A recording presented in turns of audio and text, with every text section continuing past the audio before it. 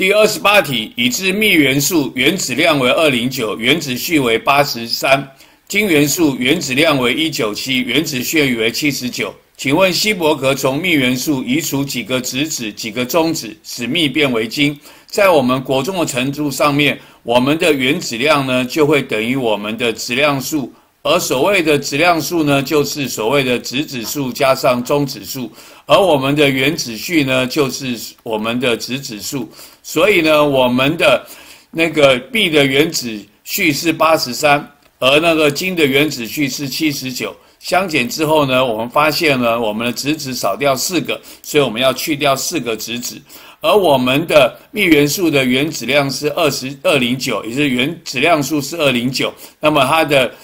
金元素的原子量是一百九十七，所以相减完之后呢，是差相差了是十二。所以呢，在这里就差十二，这十二是质子加上中子相差十二，而我们的质子已经少掉了四，所以十二要减掉四呢，就剩下八，表示我要再少掉八个的中子，所以呢，我们质子要少掉四个，而中子呢要少掉八个。因此，第二十八题问我们说，希伯格从幂元素中移除几个质子、几个中子，使变为金？我们答案选的是 A，四个质子，八个中指。